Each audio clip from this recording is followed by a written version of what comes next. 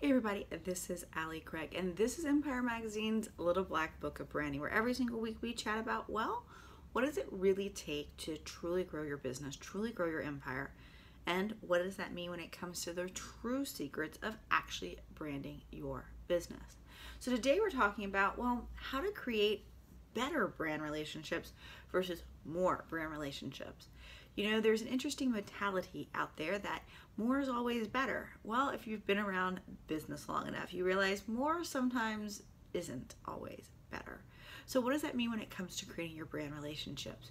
Well, we all know the statistics that it just costs more money to create new client relationships than, than, it does to keep it. And plus, the fact when you're constantly creating new relationships, then you're constantly in that dating phase of life. You never can get past that, mean that you don't have trusted allies in your client and they don't necessarily have that much invested in you, which means they're not necessarily brand loyal.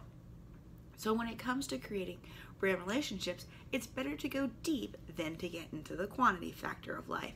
Just like with dating, you know, the relationships that you're truly looking for in life are those long term commitments, those ones that people will always be with you and there for you, will protect you and have your back.